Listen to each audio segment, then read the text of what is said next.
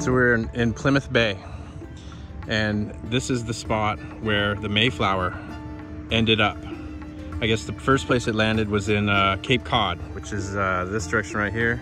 And there was no suitable place for them to stop, I guess, so they came to Plymouth Bay, which is right here. And supposedly landed at Plymouth Rock, which Plymouth Rock is really just a symbol, I think. It's not actually the rock they walked out on. It's it's right here next to us. And um, but it's not exactly in the same spot that it was originally because they wanted to build in that spot, so they moved it a couple of times. It was what I've heard, and um, the um, rock has actually been broken a couple times and glued back together. And anyway, we're gonna go take a look at that rock right now. So they have this monument built over the rock.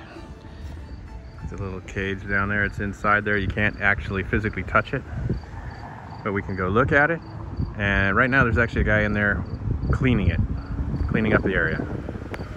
Apparently people toss coins in there and he's cleaning all those out of there. Mm-hmm. Okay, now you can see the crack right there. And then it has 1620 on it, which symbolizes the date of the Pilgrim's Landing here, which I think it was in December of 1620. Mm. Right here behind you. That's the Mayflower 2. So this is a replica of the Mayflower. This is exactly what the boat that brought all the pilgrims over from England to America. It's actually uh, a lot smaller than I thought. We're gonna do a tour of the boat, self-guided. And uh, this is what happens when you walk in. So typical stuff they would have brought with them. Wood plates and bowls.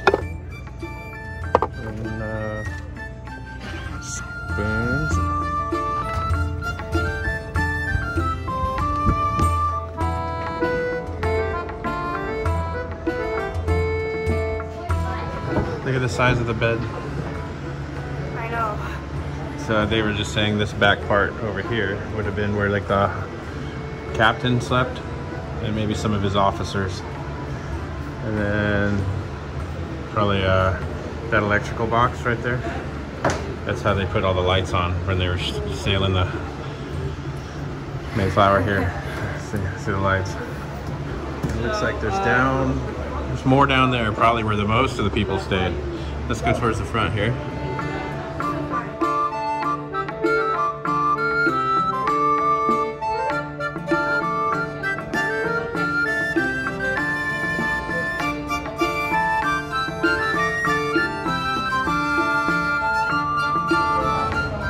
So this is where the passengers would have been, 102 of them, sitting down, laying down for a very long time. Yeah. With these windows being closed because water would be shooting into them. So unless they stopped for some reason, they'd have to have these closed. So man, I can imagine everybody throwing up when the seas were rough. It must have been hard. So here's the anchor system. And this is where they would have kept the animals up here. They said that they knew they had at least one dog or two hunting dogs, I think he said. Two hunting dogs. Some possibly chickens and pigs, goats. This was a pilgrim fan. This is the best one.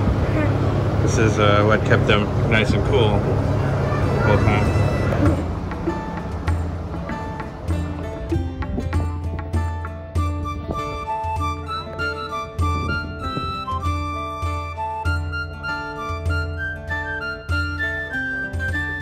All right, so that was an interesting tour of the Mayflower replica, the Mayflower 2. Yeah. That was a really cool ship um, and interesting to see how they traveled for that 66 days.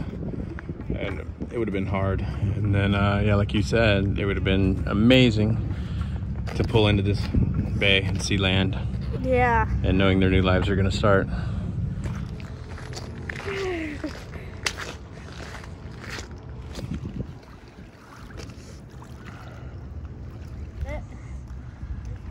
You touching the Atlantic with the tip of your pinky finger? I touched it before you got on film. So we headed across the street from Plymouth Rock and up the stairs.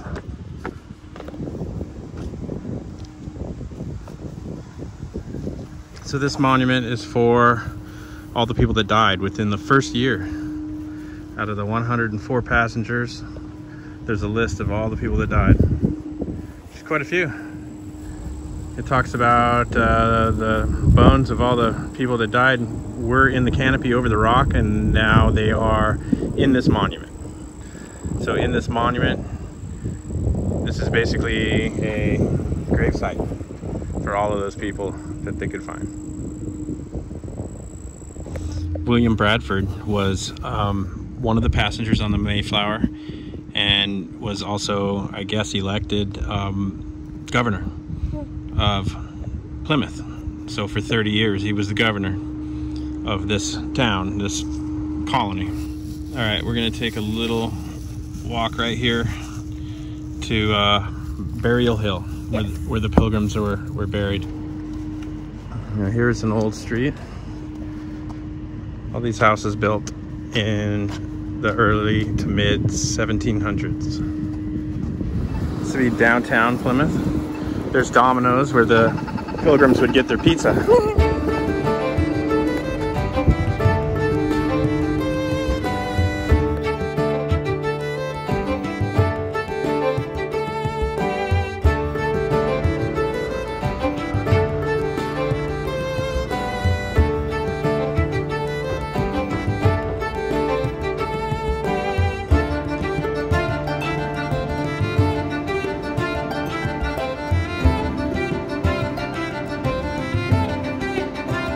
had a lot of interesting artifacts inside.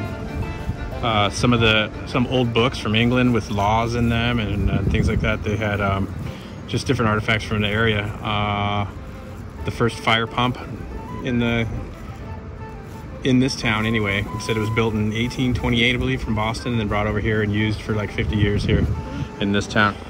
Right up this way is Burial Hill, and this is the first church in Plymouth.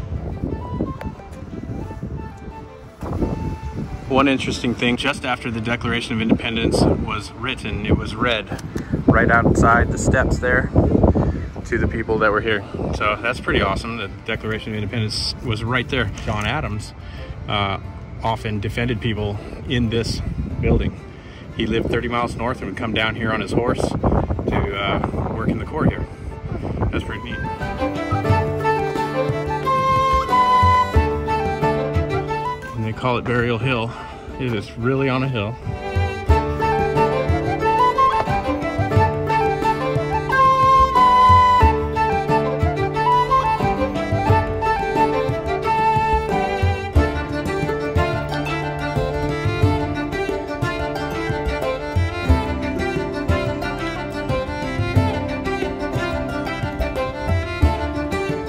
Okay, so right now I'm looking at Mr. Thomas Clark.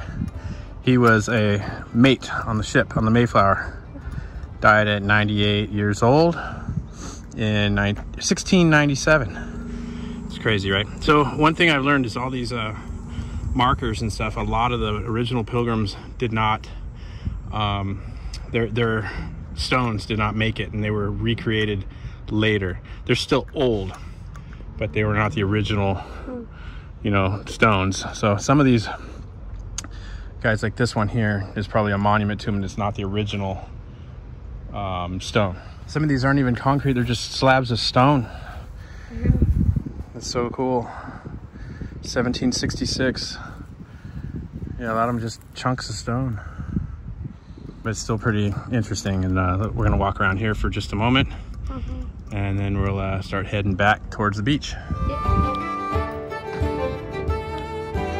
So this is the site of the first fort built in 1621.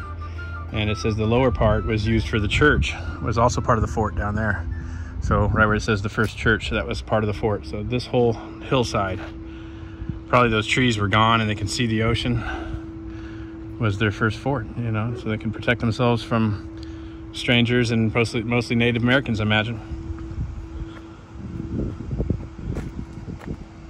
So this would have been the lower part of the fort and down here as well.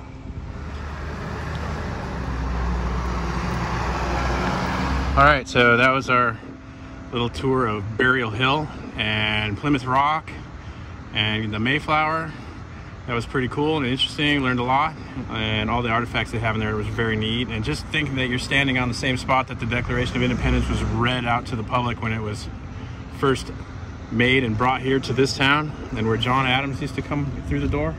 It's cool. Pretty neat. And um, but we're gonna take off. Um, there's a lot more to see, but we don't have time.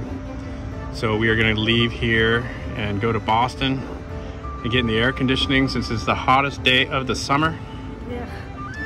It's just about 100 degrees and humid. And we are gonna go get in the air conditioning, take a ride to Boston, get out of here, and we're gonna come back at another time to do some more.